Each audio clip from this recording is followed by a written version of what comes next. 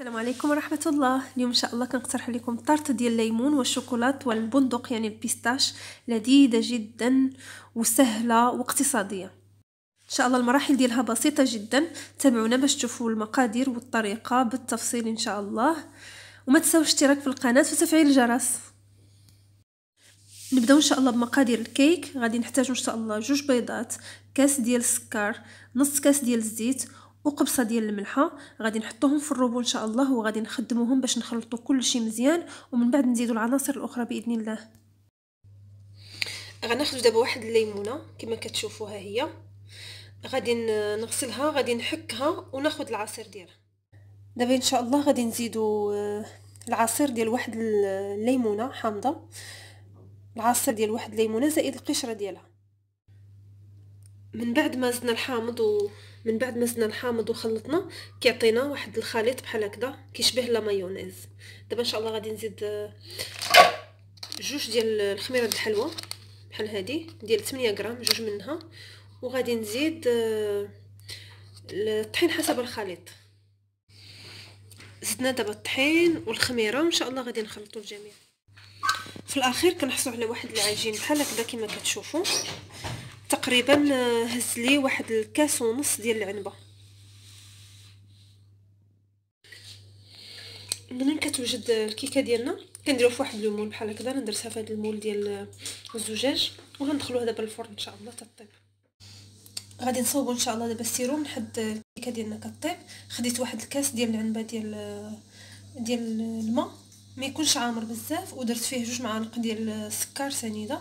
عامرين مزيان وجوج طريفات ديال الحامض. الليمون آه، عصرتهم ورميتهم نيت باش يطلقوا المذاق بديك القشرة ديالهم. غادي نعملو فوق البوطة إن شاء الله في واحد الكاسرونة. حتى يذوب السكر يغلى مزيان وصافي نطفي عليه ونخليه يبرد.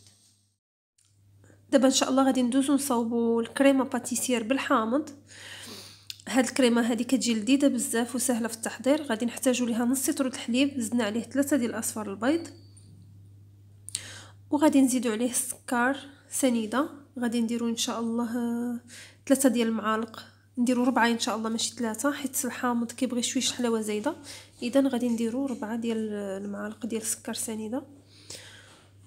ونخلطو مزيان.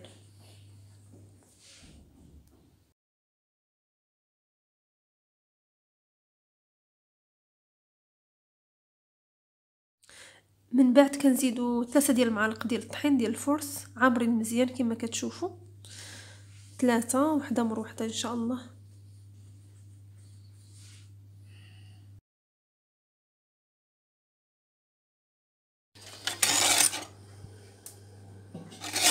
غادي نخلطوا هاد العناصر مزيان مع بعضياتهم. وغادي نديروها إن شاء الله فوق النار. كاينة هنايا القشرة ديال جوج ديال الليمونات حامضين وغادي نزيدوهم هنايا. غير القشرة ماشي العصير. الكريمة ديالنا كنديروها دابا فوق النار وكنبقاو نحركو حتى تعقد لينا الكريمة ديالنا ها هي وجدت كتبقبق وكتولي عاقدة. دابا إن شاء الله غادي نطفيو البوطة وغادي نزيدو العصير ديال كنطفيو البوطة وكنزيدو العصير ديال جوج حامضات. سيترون. ليمون يعني. وكنحركو منين زدنا دابا العصير ديال الحامض على الكريمة؟ ها حنا كنحصلوا دابا على كريمة باتيسير بنكهة الحامض الليمون منين كطيب الكيكة؟ كنحصلوا على هاد الشكل هذا. محمرة من الفوق وهشيشه تبارك الله كما كتشوفوا منفوشه مزيان. غنبداو دابا إن شاء الله بالمونتاج. الكيكة ديالنا كنقسموها على جوج كما كتشوفوا بالموس منين كنقسموها؟ كنحصلوا على جوج ديال الدوائر. هذه العلوية وهذه السفلية. غادي دابا إن شاء الله ناخذوا السيرو اللي كنا وجدنا قبيلة. ها هو. وغادي نبقاو نفزقوا بها هاد الكيكة ديالنا. باش ما تجيناش ناشفه خصوصا في الجوانب. هي خصها شوية ديال الحرص في التعامل معها لأن كتجي هشيشه بزاف ولكن المذاق كيجي رائع. غادي ناخذ دابا الكريمة ديالنا ديال الحامض وهي اللي غادي نديروها فوق هاد الطبقة هذه نغطيو بها هاد الوجه الوسط يعني غادي تجي الكريمة في الوسط. هنا زدنا الكريمة. دابا إن شاء الله غادي نغطيوها بالنصف الثاني اللي حتى هو درنا له ال sirop غادي نهزوه ونغطيو به هاد الوجه هذا كنحضروا الكريمة ديال الشوكولاتة. كندوبو في الأول قطعه ديال الشوكولاتة السوداء من نوع الممتاز وكنديرو معاها معلقه ديال الزيت وكندوبوهم. الشكلاط ديالنا ملي كيذوب هو هذا؟ غادي نزيدو عليه دابا إن شاء الله واحد الياغورت ديال pistache. كنزيدو الياغورت وكنخلطو كلشي. وهكذا كنحصلوا على واحد الكريمة ديال الشوكولاتة و pistache.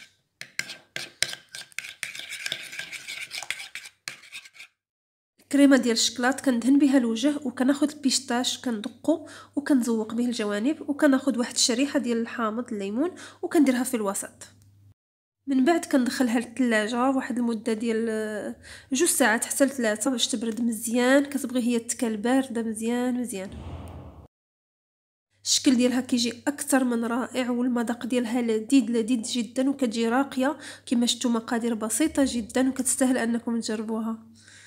بغيت صراحة نشكر الأخت أسماء هي كنت شفتها حطت هاد الوصفة هذه في مجموعة ماكويزين وأنا طبقتها ودرت فيها بعض التغيير. من الداخل كما كتشوفوا كتجي بحال هكذا وما كيبانوا الطبقات. كتجي هشيشة هشيشة ومنفوشة بزاف بزاف حيت درنا فيها السيرو. نتمنى أنكم تجربوها هكذا في العشية ولا في شي حفلة عائلية كتجي راقية بزاف وإن شاء الله تعجبكم وتعجب وليداتكم.